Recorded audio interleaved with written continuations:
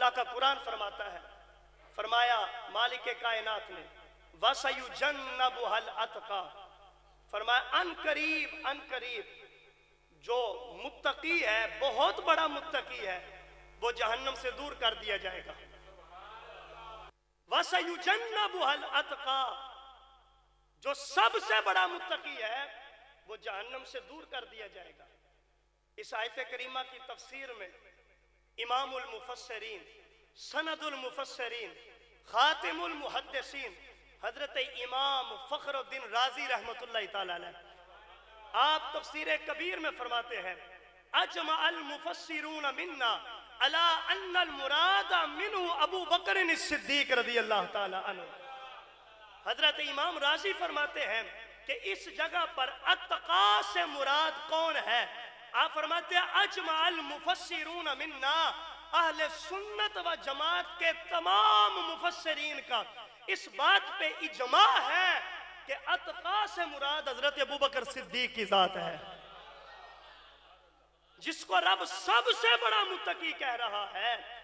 हज़रत इमाम राज़ी फरमाते हैं, तमाम मुफसरीन का इजमा है इस मसले पर कि जो सबसे बड़ा मुतकी है, वो हज़रत अबू बकर सिद्दीक की जात है।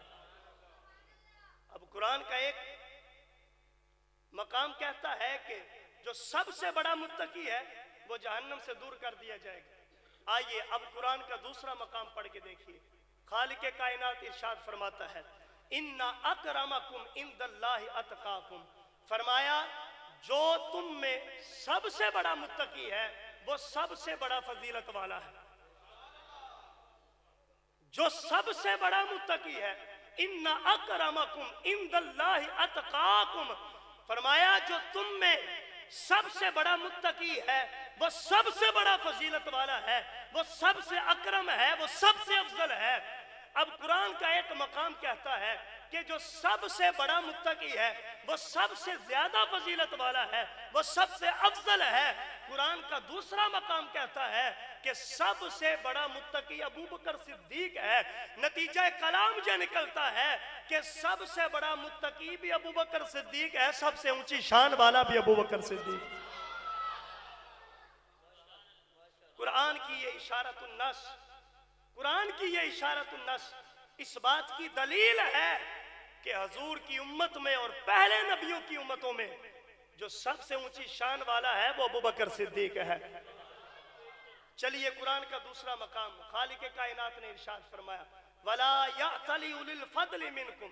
फरमाया, तुम में जो अहले फजीलत हैं, वो इस मसले पे कसम ना उठाए। वला या तली उलिल फदल मिनकुम।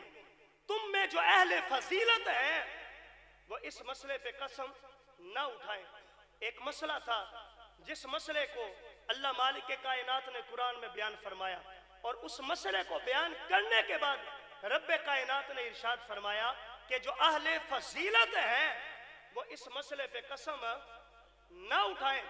तमाम मुफसरीन ने लिखा, इमाम बगवी को पढ़ के देखें, काजी सनाउल्लाह को पढ़ के देखें, इमाम कुर्तबी को पढ़ के देखें, इमाम राज़ी को पढ़ के देखें, तमाम मुफसरीन ने लिखा कि रब कायनात ने जो उलुल फजल फरमाया है, जिसको फजीलत वाला कहा है, इस फजीलत वाले से मुराद अबू बकर सिद्दीक की जात है।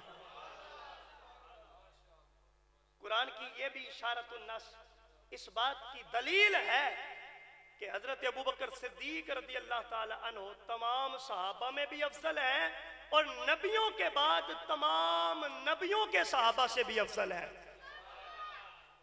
ये कुरान की इशारत नस थी। तीसरी आयत करीमा, अल्लाह खाली के कायनात ने इरशाद फरमाया, उलाइका फरमाए यही वो लोग हैं जो दर्जे में सबसे ऊँचे हैं। यही वो लोग हैं जो दर्जे में सबसे ऊँचे हैं।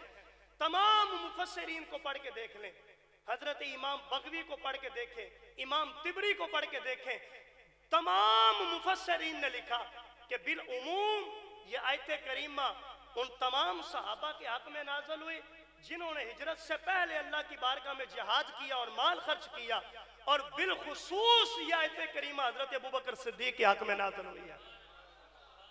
अतका भी इसमें तफजील है, आज़म भी इसमें तफजील है। अतका भी इसमें तफजील है और आज़म भी इसमें तफजील है। रब कायनात ने कुरान करीम में जहाँ जहाँ हज़रत अबू बकर सिद्दीक का ज़िक्र किया है, जो सीगा इस्तेमाल किया है, वो सीगा भी इसमें तफजील का इस्तेमाल किया है। ये पहला माखिज था, नसे कती से इशारत नस। अब अफजलियत अबू बकर सिद्दीक पे दूसरा माखज, नबी पाक सल्लल्लाहु अलैहि वसल्लम की हदीस मुबारक। वो हदीसें पेश करने लगा हूँ, जिनमें हज़रत अबू बकर सिद्दीक की अफजलियत पे लफ्ज अफजल बोला गया है। लफ्ज अफजल बोला गया है। हज़रत जाबिर रदी अल्लाह ताला हदीस के रावी हैं। किताब का नाम रियाजुल नजरा।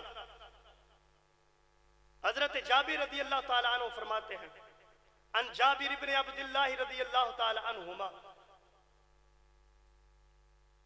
काला काला रसूलुल्लाह सल्लल्लाहु अलैहि वसल्लम, वला तुकद्दिमू अला अबी बकरिन अहदन।